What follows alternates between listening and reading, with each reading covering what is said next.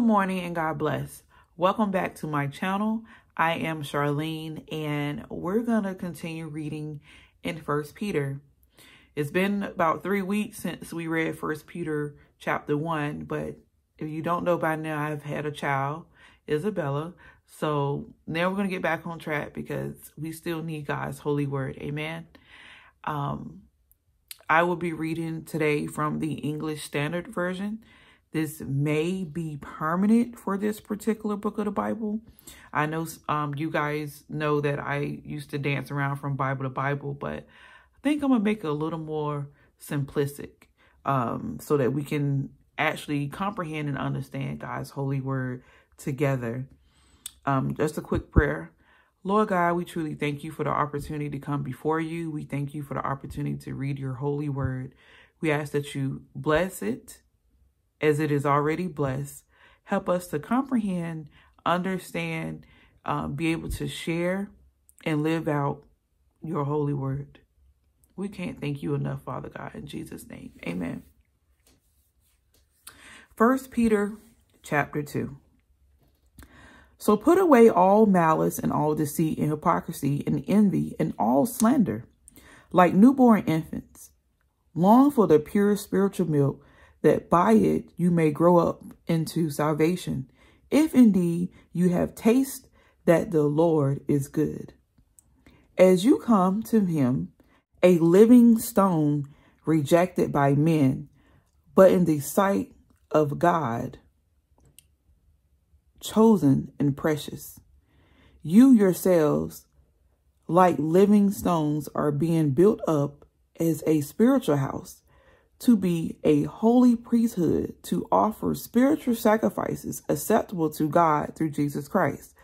For it stands in Scripture, Behold, I am laying in Zion a stone, a cornerstone chosen and precious, and whoever believes in him will not be put to shame. So the honor is for you who believe, but for those who do not believe. The stone that the builders rejected has become the cornerstone, and a stone of stumbling and a rock of offense. They stumble because they disobey the word, as they were destined to do. But you are a chosen race, a royal priesthood, a holy nation, a people for his own possession, that you may proclaim the excellencies of him who called you out of darkness into his marvelous light. Once you were not a people, but now you are God's people. Once you had not received mercy, but now you have received mercy. Beloved, I urge you as sojourners and exiles to abstain from the passions of the flesh, which wage war against your soul. Keep your conduct among the Gentiles honorable, so that when they speak against you as evildoers, they may see your good deeds and glorify God on the day of visitation.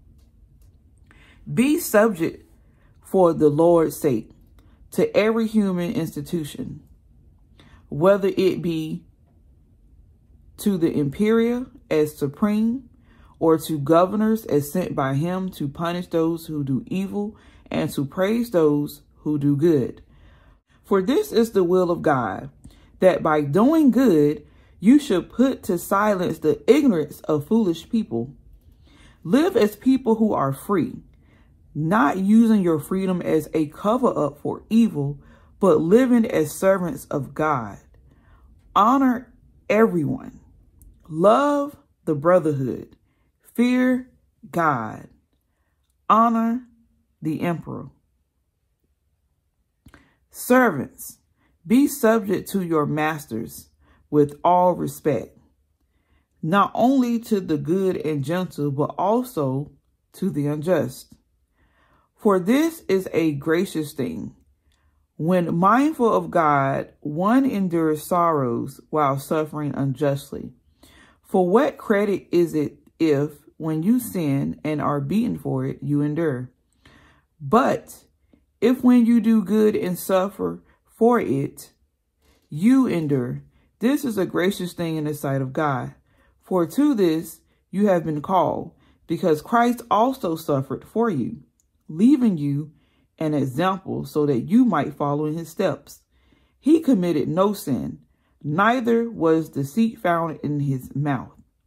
When he was reviled, he did not revile in return. When he suffered, he did not threaten, but continued and trusted himself to him who judged justly. He himself bore our sins in his body on the tree, that we might die to sin and live to righteousness.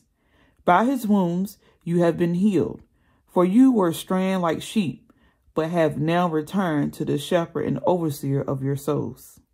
And that, my friend, was chapter 3. Again, God's word is already blessed. I thank you guys for reading along with me. I love you. Take care.